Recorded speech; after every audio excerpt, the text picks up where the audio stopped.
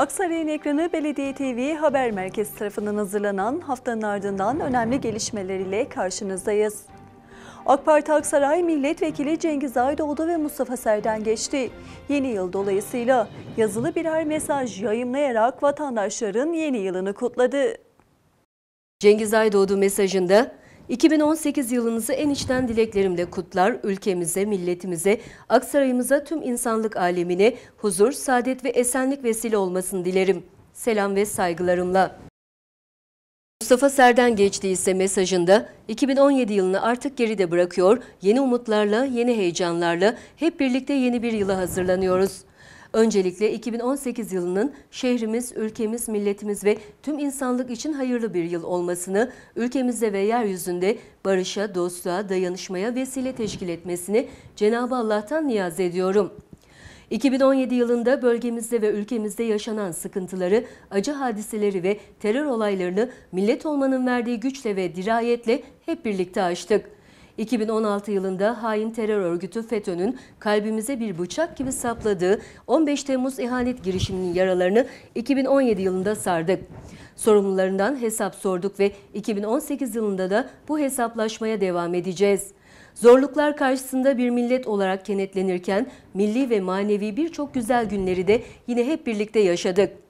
Şehrimizde ve ülkemizde 2002 ila 2016 yıllarında olduğu gibi 2017'de de sağlık, eğitim, sosyal hizmetler, ulaştırma, tarım, kültür, bilim sanayi ve belediyecilik hizmetleri gibi birçok alanda hedeflediğimiz kalkınma hamlelerimizi gerçekleştirdik. 2017 yılında bu yaptığımız kalkınma hamleleriyle Aksaray için yaşanacak ve yaşanılacak bir şehir olma hayalimize yaklaşırken bu yılı en verimli şekilde geçirerek Sayın Cumhurbaşkanımız Recep Tayyip Erdoğan'ın liderliğindeki 2023 hedefimize de bir yıl daha yaklaşmış olduk. Bu duygu ve düşüncelerle 2018 yılının şehrimiz, ülkemiz, milletimiz ve tüm insanlık için barış, huzur, sağlık, güvenlik ve refah içinde geçmesini temenni ediyorum aziz vatandaşlarımızın ve sevgili hemşerilerimin yeni yılını tebrik ediyor, selam ve saygılarımı sunuyorum. Bir yeni yıl mesajı ise Aksaray Valisi Aykut Pekmez'den geldi. Vali Pekmez yeni yıl dolayısıyla birer mesaj yayınlayarak vatandaşların yeni yılını kutladı. Vali Aykut Pekmez mesajında mutluluk veren hatıraları, sevindirici gelişmeleri, acı ve tatlı olaylarıyla bir yılı daha geride bırakıp huzur içinde yeni bir yıla girmenin heyecanını yaşamaktayız. Yeni bir yıl yenilenen, tazelenen ve güçlenen bir yaşam dönümü ve habercisidir. İlimizin kalkınması ve gelişimi için belirlediğimiz hedeflere ulaşmak için yeni yılda da kamu kurumları, özel sektör, sivil toplum örgütleri, kanaat önderleri ve tüm paydaşlarımızla birlikte her zaman olduğu gibi uyum, işbirliği ve koordinasyon içerisinde çalışmaya devam edeceğiz. 2018 yılının ülkemize, milletimize huzur, sağlık, mutluluk ve hayırlar getirmesini diliyorum. Bu vesileyle hizmet etmekten onur duyduğum saygıdeğer Aksaraylı hemşerilerimin ve her kademedeki kamu görevlisi arkadaşlarımın yeni yılını en içten duygularımda kutlar, sevgi ve saygılarımı sunarım. Yeni yıl dolayısıyla yazılı birer mesaj yayınlayan AK Parti Aksaray İl Başkanı Hüseyin Altunsoy ve Aksaray Belediye Başkanı Haluk Şahin Yazgı vatandaşların yeni yılını kutladı. AK Parti Aksaray İl Başkanı Hüseyin Altınsoy yeni yıl mesajında Mekke'nin fethinin de yıl dönümünü kutladığımız yeni yılda sorunların çözüldüğü, huzur ve güven ortamının sağlandığı, birlik ve beraberliğin pekiştiği, yeni yılın daha iyi hayat şartlarına ulaşıldığı bir yıl olmasını Cenab-ı Hak'tan niyaz ediyorum. 2017 yılı dış mihrakların ülkemize hedef alarak bizlere diz çöktürmek istemesi, bizleri yıldırıp hedeflerimizden saptırmak için başlattıkları oyunlarla geçen bir yıl oldu. 2017 yılını milletimizin feraseti ve desteğiyle hain işbirlikçi ülkelerin karşısına dikilerek geçirdik. 2018 yılında da dikileceğiz. Milletimizin geleceğe umutla bakması için başlattığımız istikrar ve kararlılık adımlarıyla kalkınma hamlelerimiz hız kesmeden devam edecek. 2017 yılında dünyanın çeşitli bölgelerinde özellikle Müslümanlara yönelik yapılan zulüm ve sindirme politikalarının 2018 yılında son bulması en büyük dileğimiz olmakla beraber AK Parti bununla alakalı tüm girişimlerde bulunmaya devam edecektir. Yeni umutlarla karşıladığımız 2018 yılının başta Aksaray'ımız olmak üzere bölgemize, ülkemize ve milletimize hayırlara ve berekete vesile olmasını temenni ediyorum. Aksaray Belediye Başkanı Haluk Şahin Yazgı, yeni yılın ülke ve millet için hayırlara vesile olmasını dileyerek 2018'de Aksaray için daha büyük ve etkin projeler hazırlayacaklarını belirtti. Yeni yılda birlik ve beraberlik anlayışının daha da pekişmesini temenni eden Yazgı, mesajında şu ifadelere yer verdi.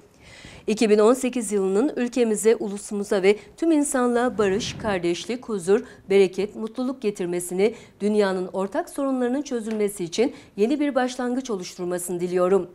Gücümüze inanarak karamsarlığa kapılmadan, çağdaş dünyayla bütünleşme yolunda yorulmadan ilerleyeceğiz. İlimizin vizyonunun gelişmesi, modern ve yaşanılabilir bir kent olması yolunda çalışmalarımız bugün olduğu gibi bundan sonra da devam edecektir.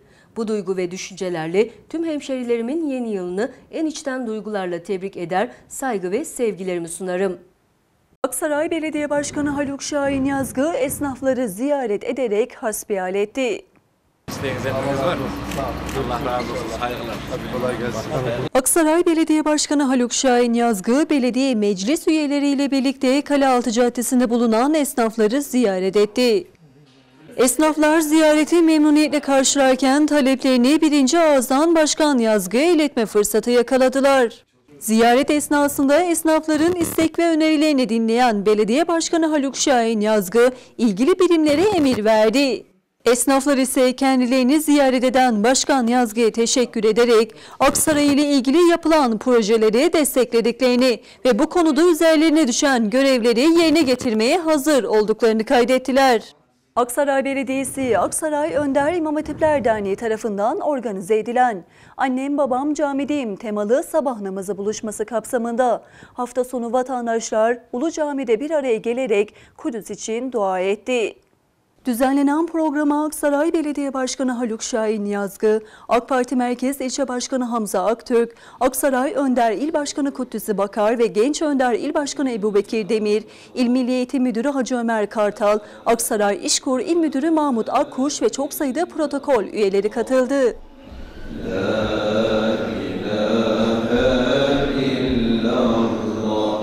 Aksaray Belediye Başkanı Haluk Şahin Yazgı program öncesi Ulu Cami önünde yaptığı açıklamada Kudüs'e dua etmek için sabah namazında bir araya geldiklerini söyledi. Burada diğer sivil toplum kuruluşlarımız da bizle beraberdi. Milli Eğitim Müdürümüz, değerli müdürlerimiz, değerli oda başkanlarımızla beraber pazar günü sabah namazında aynen başkanımın söylediği gibi cuma namazındaki gibi kalabalık bir e, sabah namazını kıldık. Sizler de biliyorsunuz namaz müminin miracı, e, en büyük silahı, dua en büyük gücü ve biz bu gücün e, aksettirilmiş şeklinde e, çok şükür gördük. Kudüs'te biz hepimiz burada birlikte bir duyuru yapmıştık. Bütün sivil toplum kuruluşlarıyla beraber ve Kudüs bizim kırmızı çizgimizdir.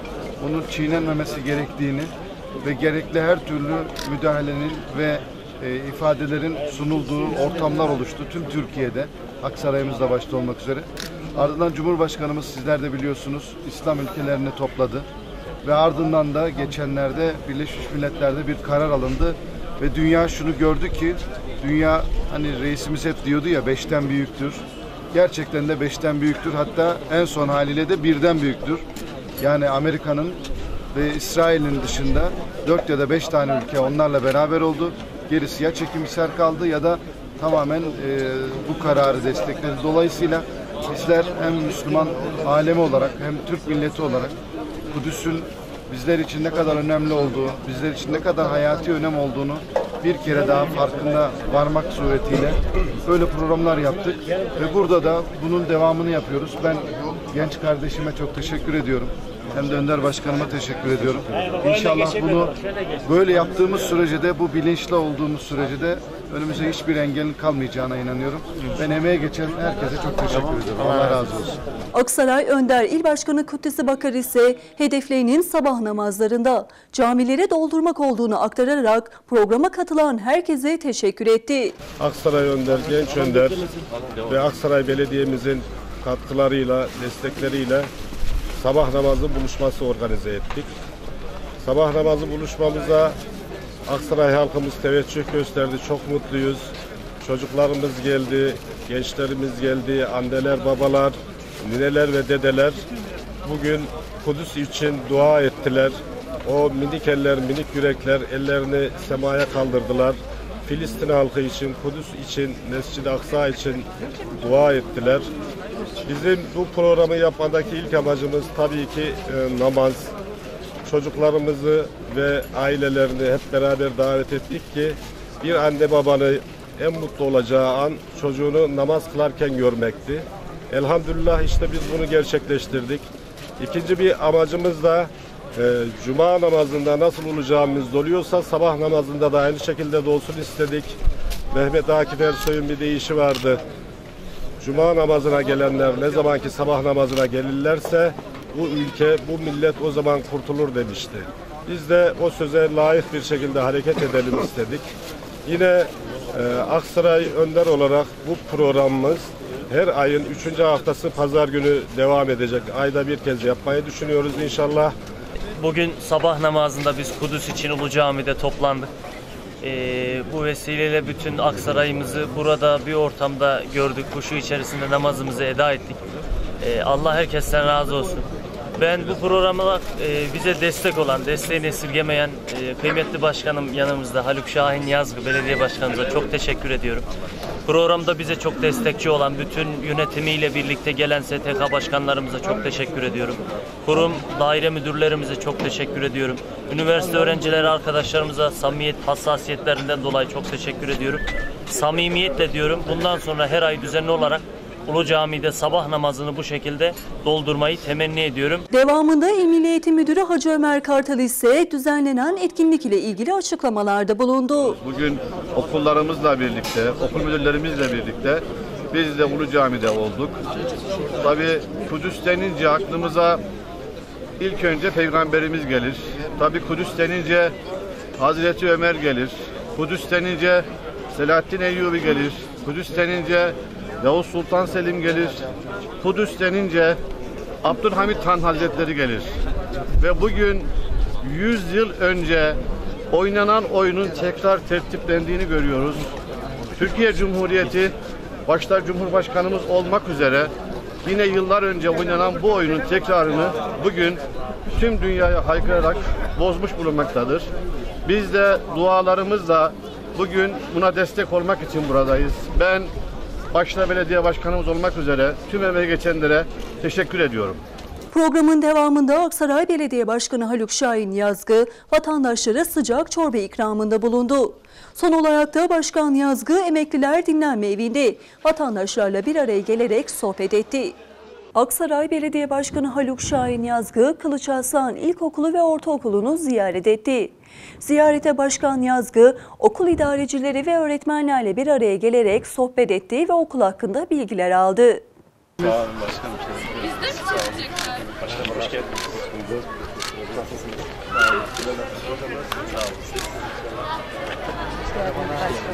Aman Allah'ım. Hoş bulduk ya. Benim okulum bu. Ne güzel. Sizler daha güzelsiniz. Teşekkür ederiz. Teşekkür iyiyim. Sizleri gördüm daha iyi oldu. Belediye Başkanı Haluk Şahin Yazgı ilkokul öğrenimini tamamladı. Aksaray Merkez Kılıçarslan İlkokulu ve Ortaokulu'nu ziyaret etti. 1990 yılında mezun olduğu ilkokulunu ziyaret eden Başkan Yazgı, okul idarecileri ve öğretmenleriyle sohbet etti ve okul hakkında bilgiler aldı. İngilizce öğrenmek aslında çok önemli. Şimdi şehrimize bazen yurt dışından misafirlerimiz geliyor. Şimdi yanımızda tercümanımız var. Biz tercümanımıza söylüyoruz. O da ona iletiyor. Keşke bu dili biraz daha iyi bilseydim de direkt ben kendim konuşsaydım. Okulda ders gören öğrencileri ve öğretmenleri sınıflarında ziyaret ederek sürpriz yapan Başkan Yazgı, öğretmenlere çiçek takdim etti, derse katıldı. Belediye Başkanı Haluk Şahin Yazgı'yı sınıflarında gören öğrenciler şaşkınlık yaşarken başkanla sohbet edip hatıra fotoğrafı çektirdiler. Kitap okuduktan sonra e, özetini çıkartıyoruz.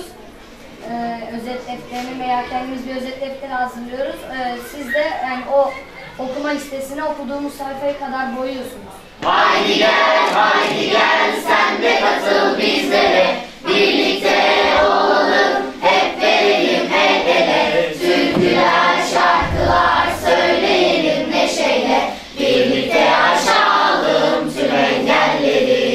Ziyarette Kılıçarslan Ortaokulu Müdürü Mustafa Bayraklı tarafından Belediye Başkanı Haluk Şahin Yazgı'ya öğrenim gördüğü ve mezun olduğu yıla ait mezuniyet diploması hediye edildi. O zamandan belliymiş çalışmamız. Kılıçarslan Okulu'nda öğrenciler tarafından büyük bir coşkuyla karşılanan Belediye Başkanı Haluk Şahin Yazgı, mezuniyet diploması hediyesiyle duygu dolu anlar yaşadı. Okul yıllarına geri dönen Başkan Yazgı'nın ziyareti, öğrencilerin hazırlayıp sunduğu mini konser ve öğretmenlerle yaptığı sohbetin ardından sona erdi. Aksaray Belediyesi Kadın Koordinasyon Merkezi kadınlara yönelik projeler üretmeye devam ediyor. Cumhurbaşkanı Recep Tayyip Erdoğan'ın milli seferberlik çağrısı doğrultusunda 2023 hedefinde kadın istihdamının artırılmasına yönelik Aksaray Belediyesi ile İşkur arasında imzalanan Kadınların İstihdamı ve Mesleki Eğitim İşbirliği protokolü kapsamında kadınlara yönelik pul ve boncuk dikişi kursu düzenleniyor. Aksaray Belediye Başkanlığı Kadın Koordinasyon Merkezi, İşkur ve Türkiye Odalar Borsalar Birliği Kadın Girişimciler Kurulu Başkanı İş Kadını Aysun Akkurt koordinesinde başlatılan pul ve boncuk dikişi kursuna çok sayıda başvuru yapıldı.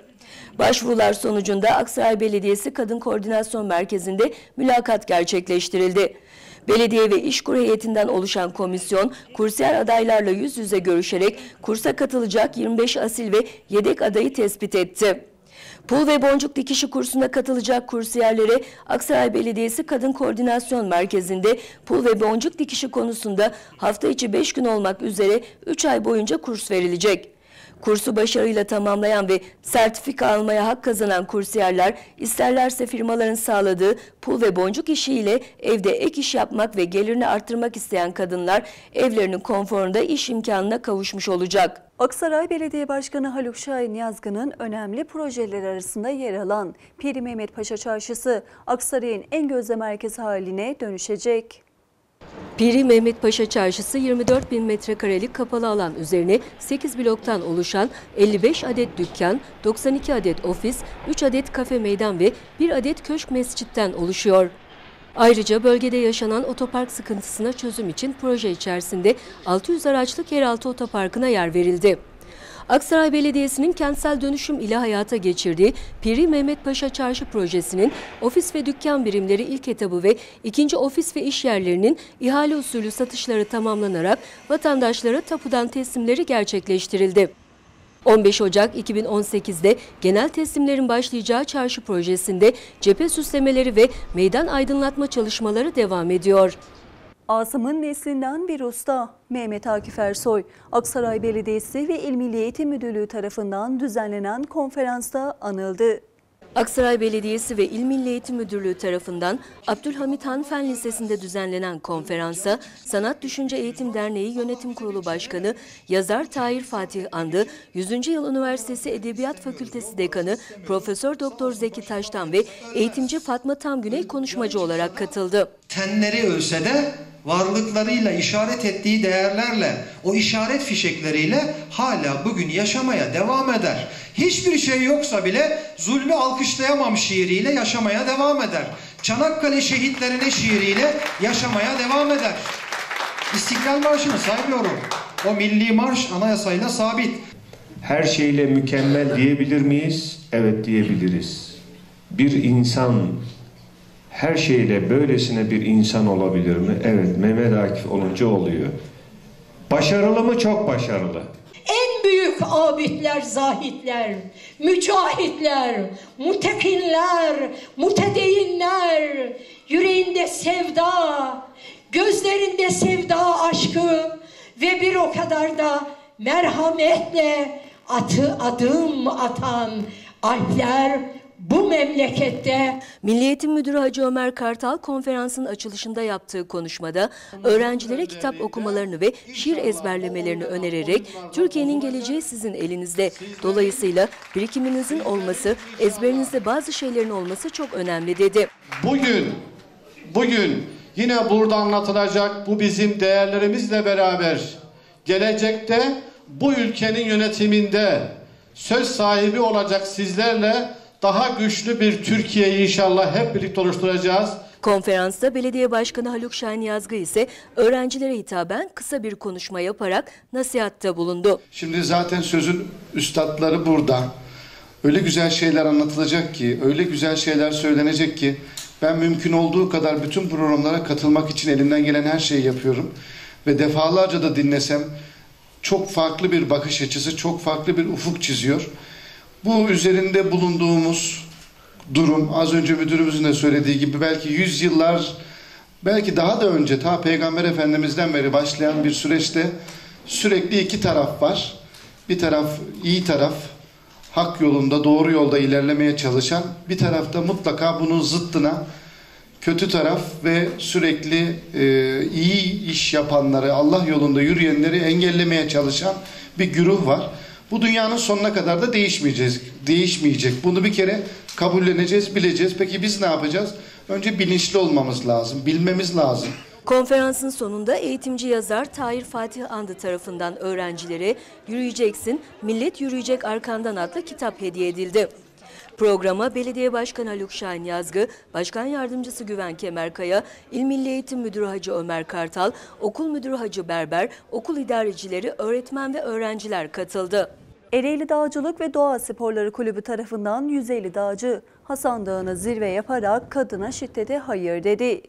Ereğli Dağcılık ve Doğa Sporları Kulübü tarafından üçüncüsü düzenlenen Hasan Dağı Kış Zirve Tırmanışı 23-24 Aralık tarihinde 187 dağcının katılımıyla gerçekleştirildi. Tırmanış Ereğli Dağcılık Kulübü ev sahipliğinde gerçekleşti.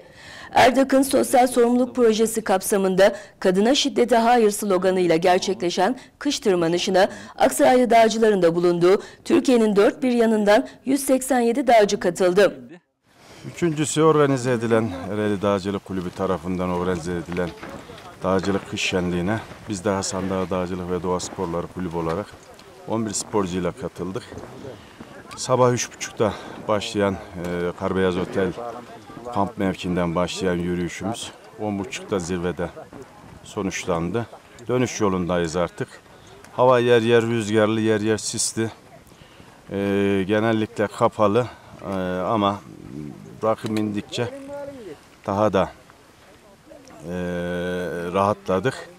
Birkaç saat sonra inşallah kamp alanında olacağız sağ salim bu etkinliği tamamlamış olacağız. Aksaray'da bir araya gelen dağcılar sabah 3.30'da 187 kişilik bir grupla tırmanışa başladı. Kapalı, sisli ve karlı havaya rağmen 6 saat süren yorucu ve keyifli bir tırmanışın ardından 3268 rakımlı Hasan Dağı zirvesine ulaşıldı. Tırmanış etkinliğini 13 ilden 18 dağcılık kulübünü temsilen aralarında Dağcılık Aksaray temsilcisi İsmail Demirezen ve Hasan Dağı Dağcılık ve Doğa Sporları Kulübü Başkanı Şahin Koçak ile birlikte 11 Aksaraylı dağcı sporcunun da bulunduğu 150 sporcu zirve tırmanışını tamamladı. E, Bugünkü faaliyetimiz Ereğli Dağcılık e, Doğa Sporları Kulübümüz Erdoğan 23-24 Aralık'ta e, kadınlara şiddet temalı bir faaliyet planlamışlardı. E, hava şartları ne kadar cumartesi günü kötü olsa da pazar günü düzeleceğini veriyordu. Ve nitekim de e, şartlar o şekilde oldu ve hava e, bizi çok sıkıştırmadı. Zirvede biraz e, rüzgar oldu. E, üzerimize düşen görev bu faaliyette olmaktı. E, kulüp ve dağcı arkadaşlarımızla. Bu yıl üçüncüsü düzenlenen Hasan Dağı kış tırmanışında zirvede sporcular, Gazi Mustafa Kemal Atatürk ve tüm şehitler gördükleri şiddet sonucu yaşamını yitiren tüm kadınlar anısına saygı duruşunda bulundu, İstiklal Marşı'nı okudu. Daha sonra günün anısına zirve notu yazan, toplu fotoğraf çekip flamalarını açan dağcılar dönüşe geçerek yeniden kamp alanına döndü. Aksaray'ın ekranı Belediye TV Haber Merkezi tarafından hazırlanan haftanın ardından önemli gelişmeler ile karşınızda olduk. Bir sonraki haber bülteninde görüşmek üzere. Hoşçakalın.